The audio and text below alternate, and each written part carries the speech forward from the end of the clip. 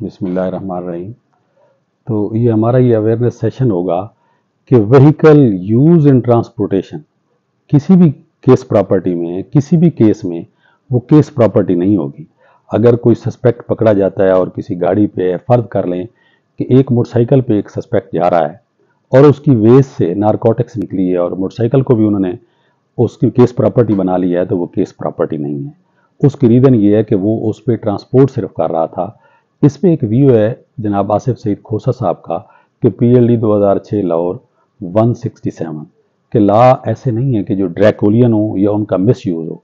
इसी तरह अगर रैश या नेग्लिजेंट एक्ट में कोई गाड़ी एक्सीडेंट करती है तो वो पकड़ी जाती है तो उसका भी वो केस प्रॉपर्टी नहीं है। उसकी रीज़न ये है कि उसकी सिर्फ़ और सिर्फ़ मुतलका बाकी जो ऑफेंसेज हैं, उनकी एविडेंस आएगी, वो केस प्रॉपर्टी के तौर पर उसकी ज़रूरत नहीं है। या कोई गाड़ी को ट्रांसपोर्ट करता है, किसी को अगवा करने के लिए कहीं लेके जाता है और फिर अल्टीमेटली वो रिकवर हो जाते हैं तो गाड़ी ऐसी सूरत में केस प्रॉपर्टी नहीं है।